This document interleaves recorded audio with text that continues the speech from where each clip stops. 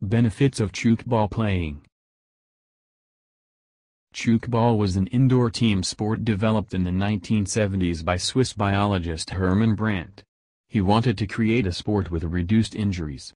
The sport is usually played on an indoor court measuring 27 meters by 16 meters. Some of the benefit of playing Tchoukball is Playing Tchoukball force you to run 40 meters of the field. You can do it several times, this will help to enhance your physical health. In Tchoukball, you will run and jump to deliver the ball. It will help build and strengthen your leg muscle. You have to walk and run off the field several times. It makes your body increase its stamina. It will increase your breathing.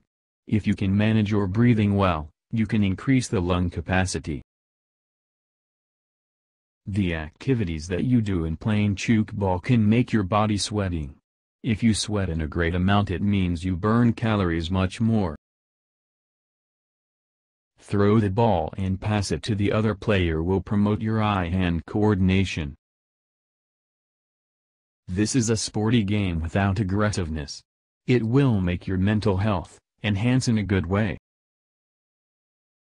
You have to be ready at any time to get the ball from your opponent. This will increase your alertness and anticipation. You need concentration to get the accurate point of the shoot. This will be the best training to increase your concentration. You need to build a good strategy to get the ball from your opponent. It will train your brain to think logically and make several plans.